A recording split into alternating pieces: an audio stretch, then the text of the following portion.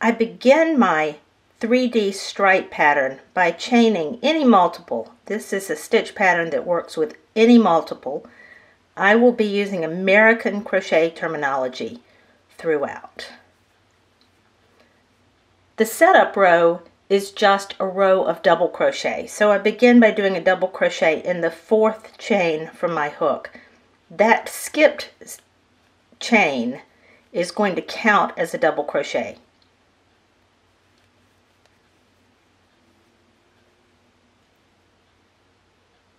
On the last double crochet, I will change to my contrasting color. This is the color I want the stripe to be. So I'm changing to yellow and then I'll turn and chain four to begin my next row. Row one is treble crochet in the back loop of each stitch across.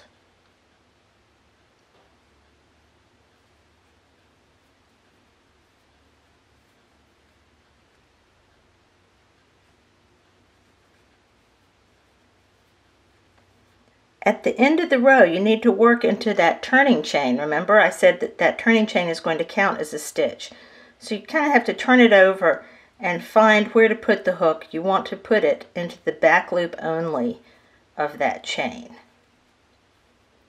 We're going to stick with our stripe color here as we turn and chain one. Now we get to do a row of what I call folding single crochet. The reason I call it folding single crochet is it's going to cause this row of tall stitches to fold forward and create our 3D stripe. Begin with a chain one to bring my hook up to the level of the single crochet. Now, there are two ways I can work a folding single crochet. I can either work into both loops of this yellow stitch or the back loop. I will show you both ways. I'll show you one way on this stripe and I'll show you the other way on the next stripe. Let's begin by working into the back loop only of this first stitch and into the free loop or the back loop only in the stitch in the row below. You can see because we worked into the back loop only when it was turned this way, we turn it around and now we have some free loops. So I'm going to insert my hook through there. So I have two loops that I've gone through. I'm going to yarn over and pull up a loop through both of those and then yarn over and finish my single crochet. Now the first stitch is a little bit of the hardest one. The others get to be a little easier.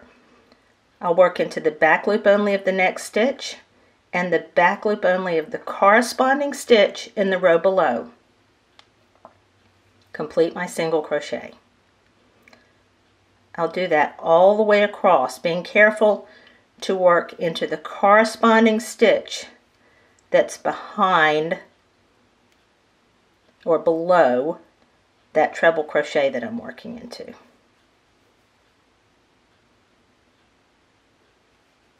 I'm going to stop halfway through here and show you what's happening. Can you see those stitches are sort of popping up? This will show even more when we get a few more rows done.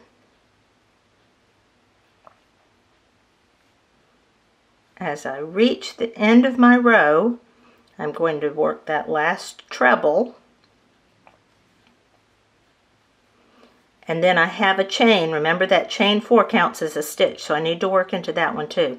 Back loop of that chain, and then back loop of the stitch, the corresponding stitch below it. And there I have a row of 3D yellow stitches. Let's see what happens when we do the next row. On this last stitch, I should have changed color. So I'm going to take that last yarn over and pull through out and find the turquoise that I left here and I'll just yarn over and change color here. The next row is just chain three and you'll find this one easy, just double crochet in each stitch, both loops of each stitch all the way across.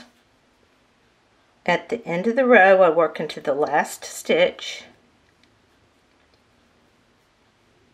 then turn, chain three, and do another row of double crochet. When I reach the end of the row, it's time to change color. And because my yellow yarn was waiting for me on this side, I can just yarn over with that new color, with the contrasting color, and pull it up. I want to make sure I leave that loop loose enough, or I can cut the yarn and begin again. I'll turn and chain four,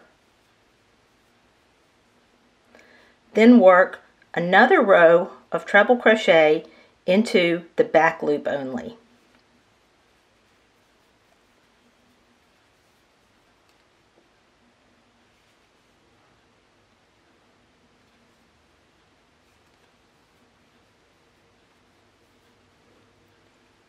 Turn and chain one. The last time we worked our row of folding single crochet, we worked into the back loop only of the previous row and the back loop only of the row below that. This time I'm going to show you working into both loops of this yellow row and show you what the difference is. So I've done my chain one, I'm going to work under both loops of that first stitch and through the back loop only of the stitch in the row below. So both loops of the for the next stitch and into the corresponding free loop of the row below. This is also a folding single crochet because it creates a fold in my stripe row.